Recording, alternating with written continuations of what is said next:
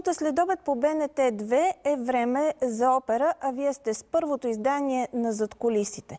Дом на нашето предаване е Държавната опера в Стара Загора. Имам удоволствието мой първи гост да е една дама, на чиято енергия аз лично безкрайно се възхищавам.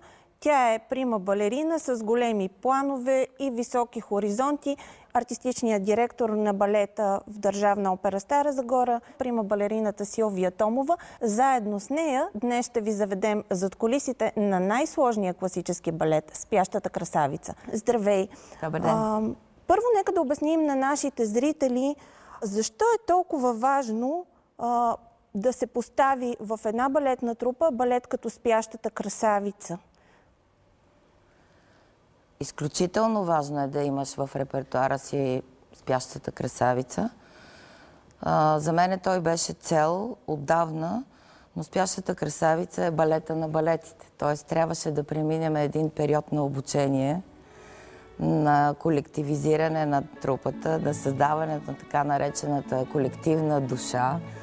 Многопластов балет, огромен балет и много красива музика и с невероятни послания, което не е без значение, особено в момента, в това, което ние изживяваме. Какво трябва да има, за да е на сцената истинската спяща красавица, такава, че да вълнува, да задържа вниманието, да очарова публиката? Най-важното за спящата красавица, това е стила разказа, който тръгва от барок и завършва в рококо. Разбира се, че много важно е как ще разкажем цялата приказка на Шарл Перо. Изключително държа на това, защото смятам, че когато се отвори завесата, на сцената трябва да се появят много добри артисти. А, сам по себе си балета чисто хореографски, технически е много сложен но в крайна сметка това е нашия занаят. Сам по себе си спектакъла се изгражда от артисти на високо ниво. Кое е по-трудното? Ти като изпълнител да изтанцуваш принцеса Аврора или да изработиш всички тези роли в залата като репетитор с всеки един танцор по-отделно? Аврора е най-тежката класическа роля, която съществува от тези образци. Основно мислиш за това. Колко брилянтно ще изпълниш всяка вариация, колко красиво ще изглеждаш, как трябва да изглежда твоя костюм, твоята пачка, ти в него, каква корона ще сложиш, какви обици ще сложиш. Да, тези неща имат огромно значение за нашата поява. Докато работата с, като репетитор вече, като човек, който трябва да покаже всяка една стъпка на всеки един, и да я обясни защо така се случва, както музикално, така и чисто академично, като методика, къде се стъпва, кое е това положение, защо трябва винаги да е с ушенице напред. Нали, това е така много емблематично за спящата красавица. Тя е имперски балет. Нали, те тогава са танцували всичките с истински бижута. Винаги се трябва да се поднесе сухо, т.е. да покажеш бижута, брилянтите. Да, има ги тези неща и те носят своя а, чар и една преднамерена показност, която всъщност не е маниерна, тя просто е стил. Трябва да кажем, че в спящата красавица и последното пръще на ръката е важно, нали да, така? Да, точно така е. Просто нямаш право на никаква грешка. На каква височина ще са ръцете, защо ще са поставени точно тук. Разбира се, това се учи, това се обяснява.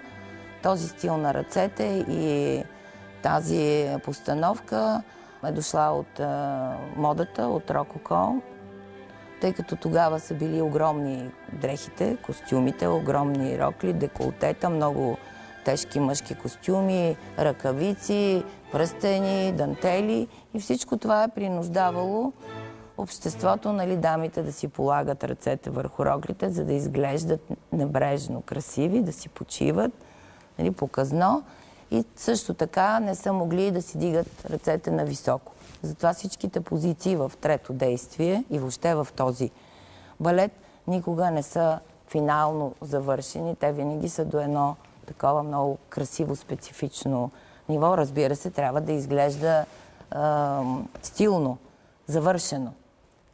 Заговорихме за модата и наистина спящата красавица е сложна задача и за художниците по костюмите, защото те трябва да се съобразят с цели две епохи – барок и рококо.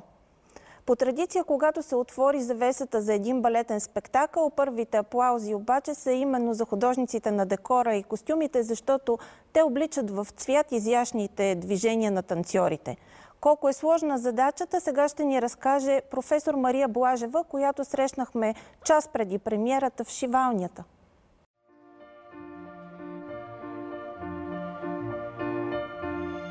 Принципно костюмите, без да преувеличавам, са космическо число, около 250-280, като имате предвид, че се рисуват и декоративните мотиви за всяка една пачка.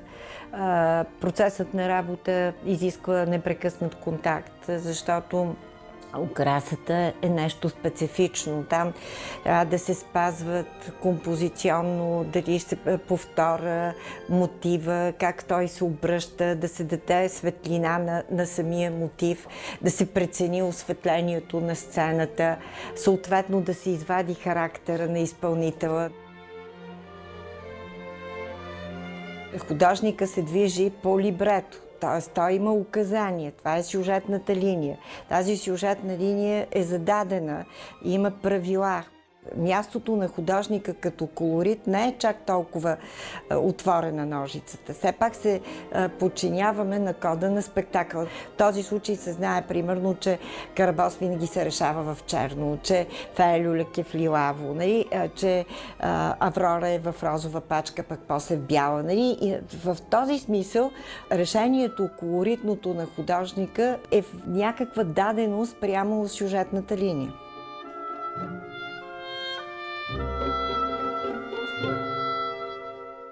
Това е финалния костюм на Аврора. Концепцията, принцип в декорацията е поглед към барока, тъй като постановката отразява тази епоха и независимо, че се отива 100 години напред, те се събужда. Това беше виждането на хореографа. Те се събуждат в епохата на Луи XIV и съответно една част от костюмите, тъй като са заспали, запазват тази характеристика, а принца Дезире идва в е, една е, по-различна епоха, да кажем, примерно епохата на Рококо и нали, на класицизма. Но стилът, концепцията е да се запазят бароковите елементи, те да доминират много красота, но същевременно трябва да се спазва кода на постановката, т.е. борбата между доброто и злото, да се изведат като костюми, защото костюма е част от характера, който се преследва и помага, разбира се, на изпълнителя да попадне в ролята.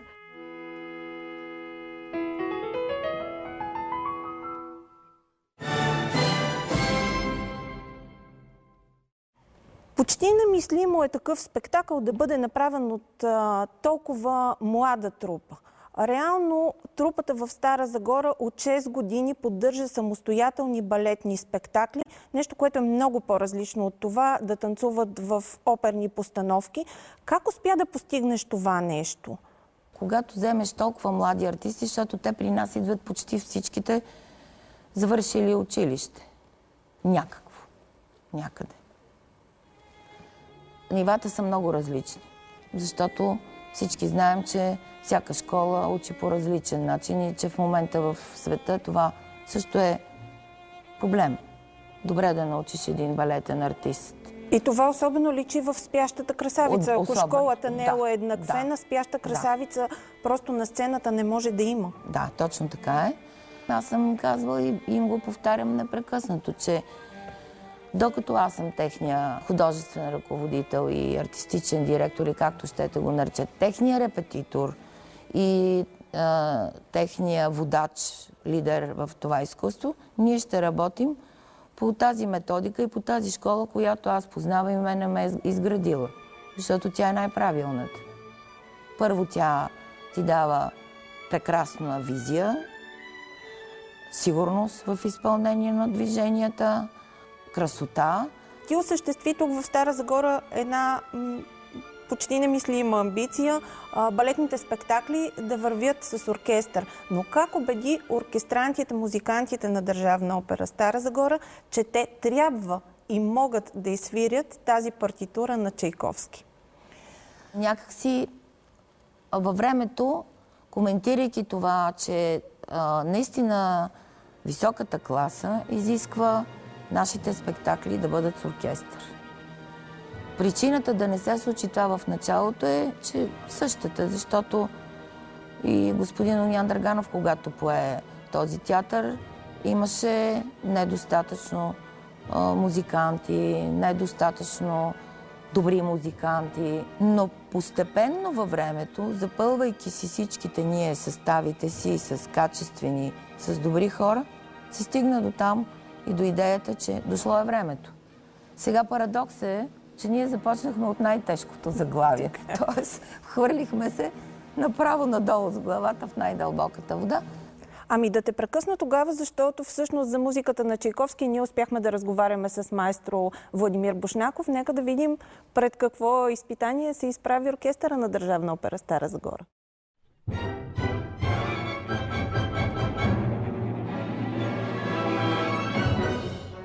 Това е най-големия, най-мащабният балет, който Чайковски е писал. Музиката е много красива. Той много добре интерпретира тази световна класика, приказката на Шарл Перо.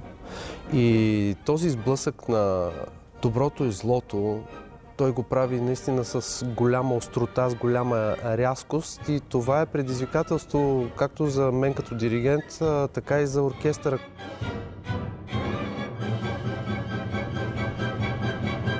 Когато работиш с балетни артисти, концентрацията и точността и екзактността на изпълнение на музиката е много по-голяма, отколкото когато съпровождаш един певец в една ария. В момента аз репетирам с два състава на, на балетната трупа и самите физически данни на солистите на един и на другия състав изискват различни темпа на изпълнение – ние имахме възможност да се занимаем дълго време с този балет. Мисля, че имам над 30 репетиции с оркестъра. Успях да накарам оркестъра да мисли по-масштабно, защото това изисква огромно съсредоточаване. Не е същото като в италианската или българската оперна класика, където има речитативи, има места, на които оркестъра може да си вземе е, въздух. Тук от начало до край натоварването е пълно. Тоест пролога и първо действие с дължината на една симфония от Чайковски. След това имаме пауза, след това второ и трето действие с дължината на още една симфония От тук нататък малко са оперните и балетни заглавия, които могат да се опрат на този оркестър. Това е нещо, което наистина мирише на лукс. И се надявам, че наистина след този труд, който положихме с оркестъра и с балетната трупа, се надявам от тук нататък да можем да предоставяме този лукс на нашата публика.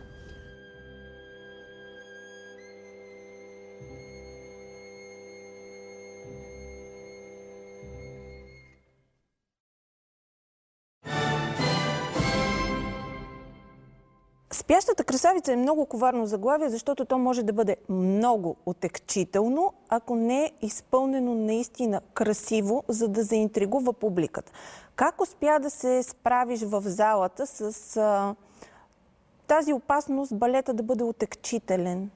Как успя да се пребориш с това спящата красавица да е наистина интригуваща, а да не остави публиката дистанцирана, защото това е спектакъл, който носи този риск? Да, категорично може да бъде отекчителен. Но когато този спектакъл е поставен по този начин, както успя, успяхме, но най-вече успя фундамента да положи Андрей Босов, защото това също е предварителна работа, която се премисля много, много специално и много правилно. Как ще конструираш балета, как, коя част трябва да бъде съкратена, как а, да продължи действието, как разбира се през декор, осветление, костюм и а, подредба това ще се случи, така че да бъде а, спектакъла толкова интересен, че хората на един дъх да го взят. Тоест, все едно на кино си отишъл. Много ми се иска да акцентираме, че всъщност това е първата премиера на Държавна опера Стара Загора след една година. Вие няколко пъти се наложи да приспите спящата красавица, няколко пъти я целувахте и я събуждахте. Не, не се събуждаше. Целувах. бе, Да, целувахте я, но два пъти отложихте премиерата. Как успя да съхраниш енергията на този спектакъл? Цяла година трябваше този балет да бъде съхранен. Възстановявахме го, трябваше през декември месец в рамките на фестивала за оперно и балетно изкуство да го покажем. Също не можахме да го осъществим. И по-скоро тук беше моето притеснение, защото когато преповтаряш един и същи материал, рискуваш това да демотивира трупата. За да покажем на нашите зрители колко сложна е работата по балета Спящата красавица, по-рано с примат Анелия Димитрова, вие ни показахте една вариация, не коя да е вариация, вариацията на Аврора от трето действие. Нека да видим малък отказ от процеса на работа по една вариация сега. Започваме от влизането. Излизаме, алонже, ръчичките, палец, полупалец, съставаме, поза, падьон, ухо. Защо показваме ухо? Трябва да покажеш твоите диаманти, корони. Точно така. Ти си вече бъдещата кралица. Това е твоята сватба.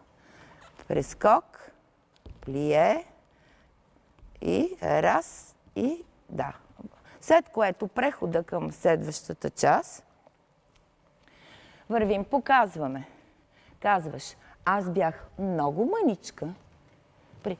Мъничка принцеса обаче. Е, китката по същия начин, да. Бях много мъничка принцеса, но сега станах голяма и сега ще бъда кралица. Да, утвърждаваш. Не трябва да е много силна главата, нали, защото ти не си сервитьорка, а си принцеса. Тоест трябва да е достолепно.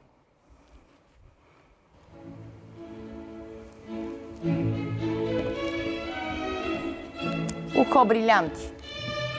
Браво.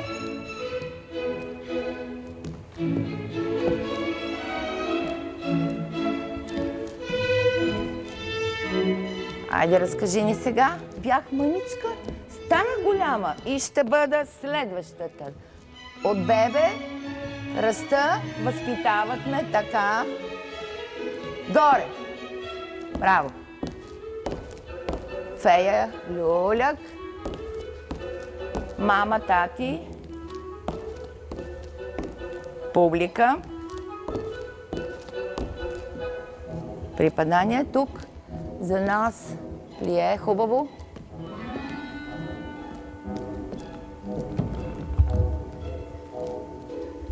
Мерси.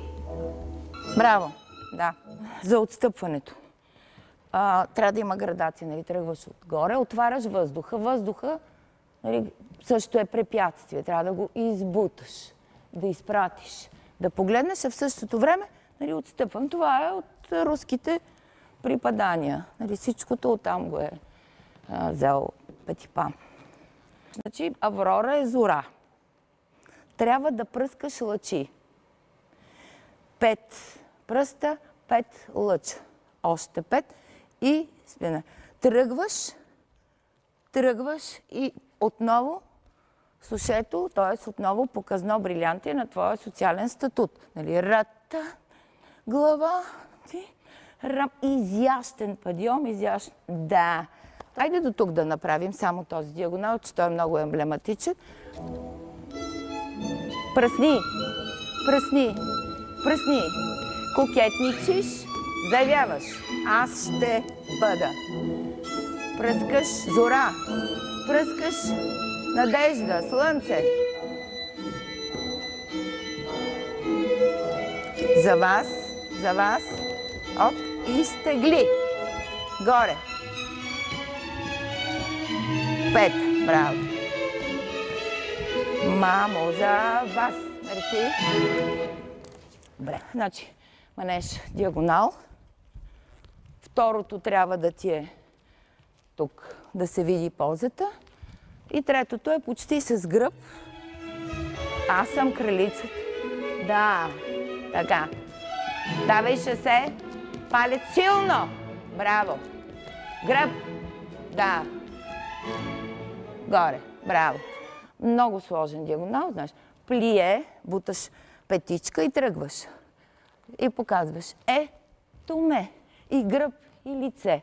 И гръб за вас и за вас. Първата част е с гръб и глава.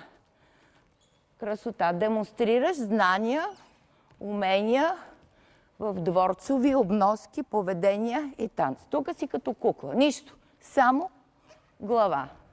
Остава. Да, както учиме. Всички въртения при нас трябва да са глава остава последна и се връща първа, за да ни се завива свят. Мога да обясна веднага защо. Защото когато се въртим, трябва да има само една информация за мозъка, т.е. една точка. Дадеме ли му повече информация, той губи ориентация и затова падаш, като не се въртиш правилно. Показваш. Глава, гръб. Кукла, кукла. Гръб, пета. Нагоре, нагоре, подред, хлъзни, стой. И слизам. Мгм. Да. И казваш вече за вас и за вас. Да, поглеждаш. Тук партер, партер, партер, балкон, балкон, да ги видиш всичките. Трябва така да погледнеш, а, така да погледнеш, че всеки един, който седи в салона, да счита, че за него е този поклон. Тоест поглеждаш и той каза, ми той е за мене. И им благодари за това, че са тук, че те аплодират и че толкова много те харесват. Добре, браво. Чудесна Аврора си. Благодаря ти много. Обичам те, гордея се и браво.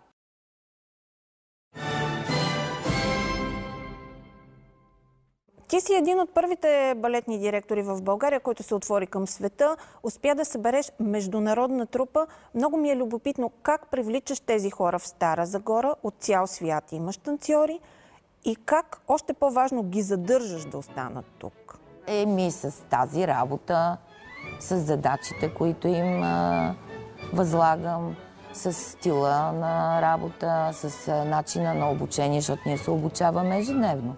Ние се учим на всичко.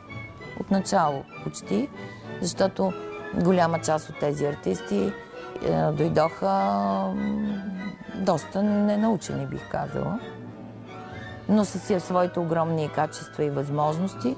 И когато правилно им се преподава, резултата е този. Така че тях това също много силно ги мотивира, защото все по-малко стават местата, където можеш да се докоснеш до истината.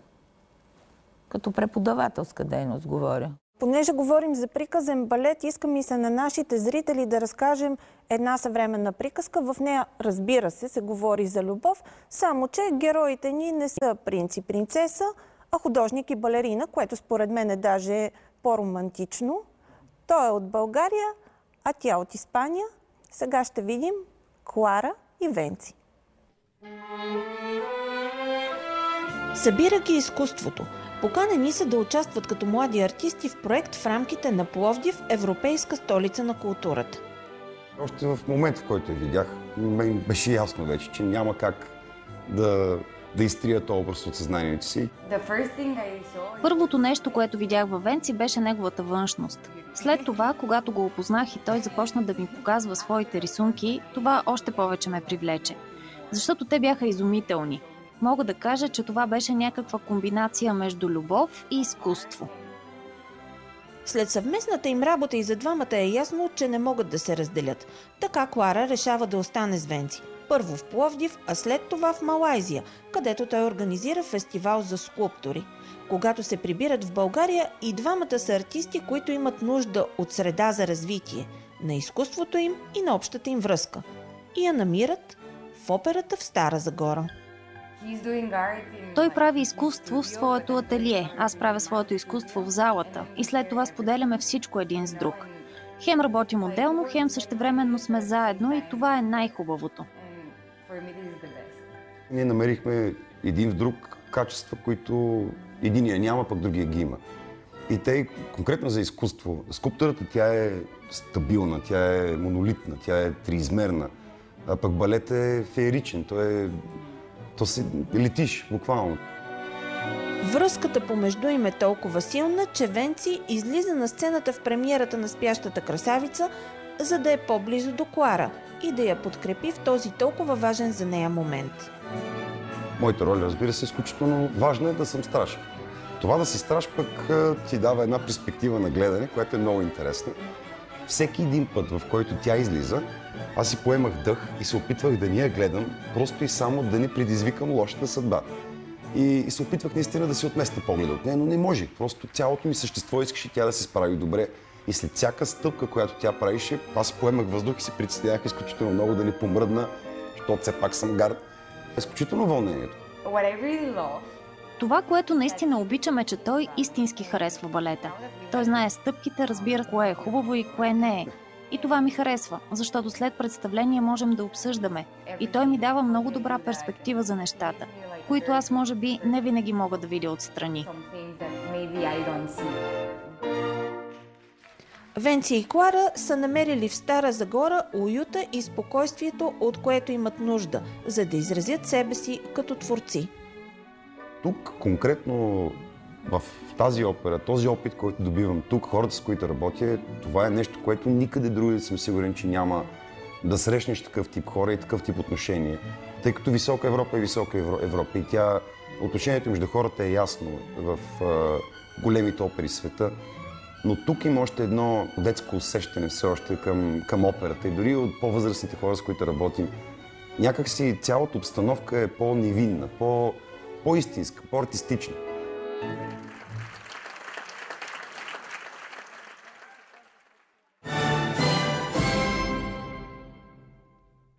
Това беше днешната ни разходка зад колисите. Ако ви е било приятно, бъдете с нас и следващия път. Хубав ден!